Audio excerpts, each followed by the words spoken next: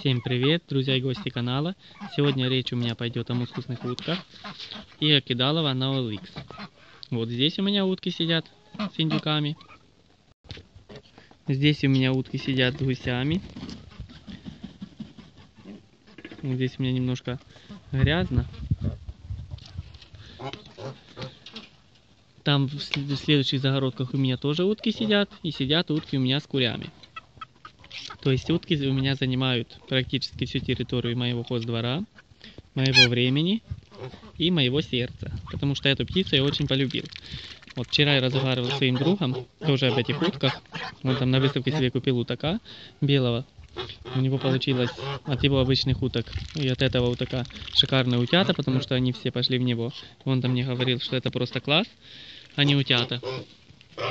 И я же ему говорю, что если бы мне кто-то там лет 10 назад сказал, что я буду заниматься мускусными утками, я бы никогда не, не поверил и сказал бы, что вы не дружите с головой, потому что это самая ужасная птица, которую я мог видеть вообще в жизни.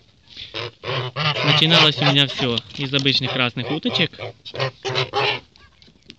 Ну, а увидел я первых мускусных уток еще в своем глубоком детстве. Это, это были вот такие обычные черные утки. Вот у меня есть один представитель, вот эта уточка. Она уже старая. Это еще те утки, которых подарили моей знакомой. Ей кума привезла. Так их никто и не зарезал. Вот они бесхозные ходят. Они живут у меня отдельно. Никакие утки с ними не спаривались. Утят от них не было для того, чтобы не мешать здесь нормальных своих уток. Ну, я думаю, ну там килограмм уточки и где-то около трех килограмм утака. Это ж просто ужас. Думаю, жрут они, кто знает сколько, растут долго. Ну, вороны, никогда в жизни такую птицу держать не буду. Потом я узнал, что есть красные, они побольше. Давай заводить красных, нашел себе красных. Потом же переключился на голубых, а потом уже нашел вот этих белых. Вообще я доволен, шикарные утки. Ну, один минус, что они очень набирают вес и плохо сидят на яйцах. Вот это у них один. Но если держать их для мяса, то они просто шикарные. Для того, чтобы получить утенка, нужно просто немножко менять для них рацион, и все будет нормально. История у нас пойдет о том, как покупать яйца на OLX, как не попадаться. Ну, хотя от этого никто не застрахован. У меня есть знакомые, с которой мы тоже познакомились благодаря мускусным уткам, благодаря моему YouTube каналу еще первому.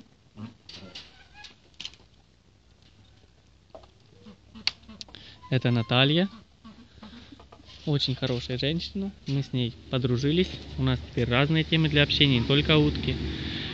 Ну и мы с ней уже давно как бы дружим. Разговаривали о том, как завести где-то еще у нас на Украине найти нормальных уток.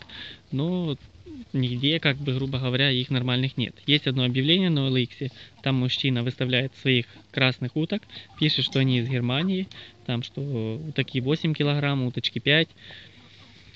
Яйцо у него там 80 гривен, это, конечно, не очень дешево. Ну и мы как-то вот разговаривали за это объявление, чтобы купить там хотя бы несколько яиц и получить оттуда каких-то уток, чтобы можно было мешать потом кровь. Ну, яйцо так и держалось 80 гривен, конечно, это не маленькая сумма. Ну, а потом оно раз и резко упало до 30. Ну, и она воспользовалась шансом и купила эти яйца. Утятка вывелись из 20 яиц, если я не ошибаюсь. То ли 13, то ли 12.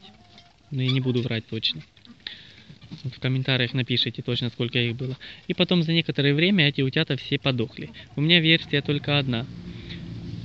Яйцо просто долго собиралось, клиентов никаких не было на это яйцо. И он для того, чтобы оно полностью не пропало, сбросил цену, чтобы заработать хоть какие-то деньги.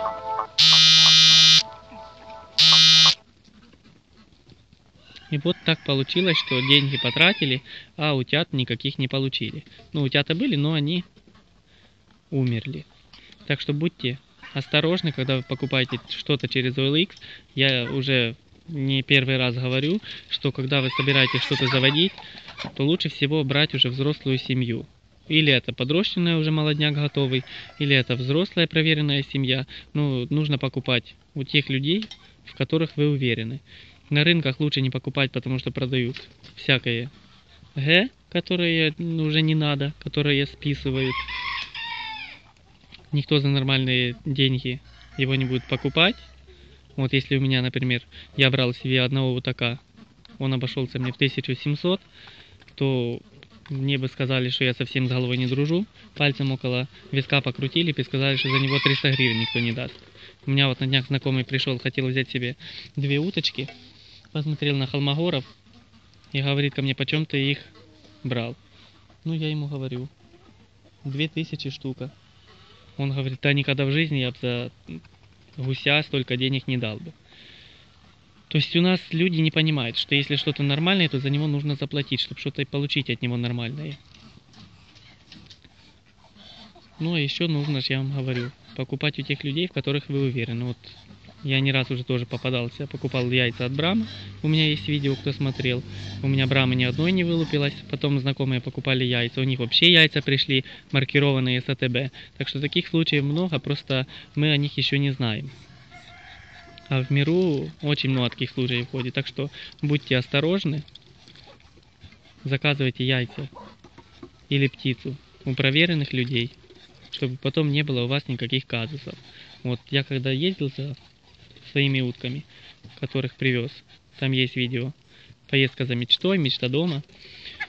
Почему я их забирал? Потому что я знаю, что в Украине я уже не найду таких уток, таким качеством, которых я забрал. Если бы их забрал кто-то, неизвестно, с кем бы они уже мешались и что бы там уже получилось. То есть, хоть я все деньги потратил и влез в долги, но я знаю, что у меня теперь будет несколько семей, они все будут чужеродные, с кем можно мне уже мешать кровь и делать новые семьи.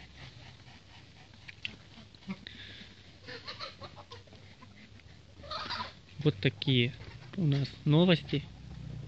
Так что будьте осторожны, чтобы потом не было у вас таких неприятных нонсенсов.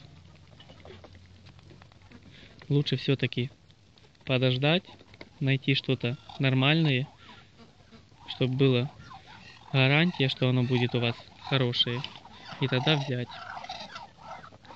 Конечно, я тоже попадался и не раз, потому что хотелось всего и хотелось сразу. Вот здесь тоже, смотрите, это обычная утка. Вот разницу сразу видно.